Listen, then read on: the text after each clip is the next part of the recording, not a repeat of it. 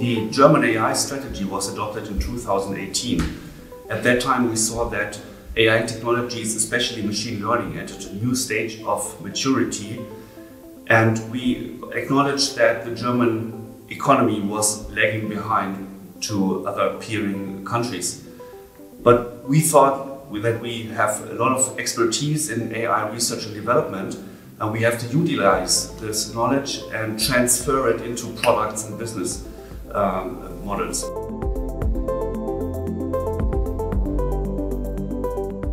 Building AI human capacity and empowering citizens for their future of work lies at the very heart of the German AI strategy.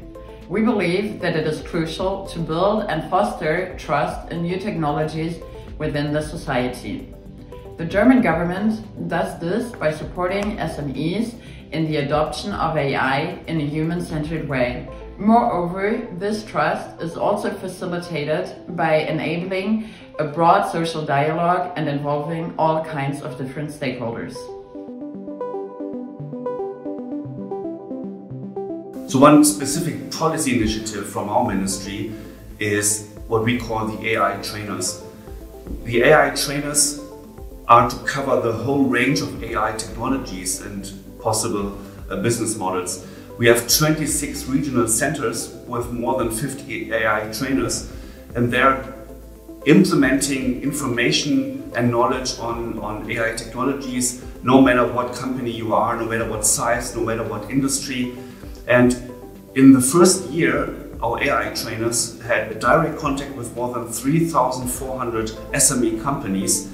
And we also saw that some of these companies already implemented AI technologies into their products or processes. One policy I would especially like to highlight is the Observatory for Artificial Intelligence in the World of Work. The establishment of the so-called AI Observatory was part of the National AI Strategy and it is allocated at the Federal Ministry of Labor and Social Affairs. The AI Observatory is developing indicators to assess the impact of AI on work and society in Germany and to also be able to compare them internationally. We are therefore also closely cooperating with our international partners, such as the OECD AI Policy Observatory. To further promote the establishment of this evidence base, the Federal Ministry of Labor and Social Affairs is supporting the OECD AI program on work, innovation, productivity and skills, short AI WIPS. The results of this high-scale research program will and already are informing the global debate on AI, for instance, in the Global Partnership on AI.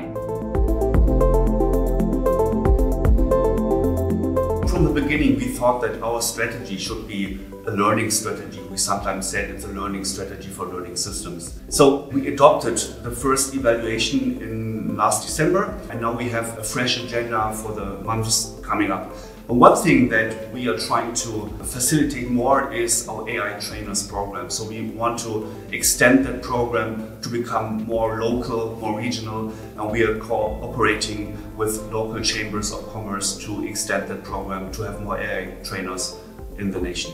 For more information on national AI strategies and policies, you can check out the website of the OECD AI Policy Observatory.